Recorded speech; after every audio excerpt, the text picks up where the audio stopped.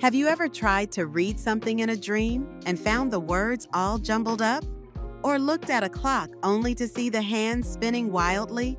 It's fascinating how our brains work during sleep. In dreams, logic takes a back seat and details often slip away.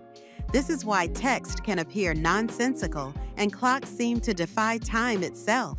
But here's where it gets interesting lucid dreaming. This is when you become aware that you're dreaming. It's like flipping a switch in your mind. You can actually train yourself to recognize the signs of dreaming, like those tricky words or malfunctioning clocks. Next time you find yourself in a dream, try to read something. If it doesn't make sense, congratulations, you're dreaming. Embrace that awareness. It opens up a whole new world of possibilities where you can explore and create without limits. So pay attention to those dream signs. They might just lead you to an incredible lucid adventure.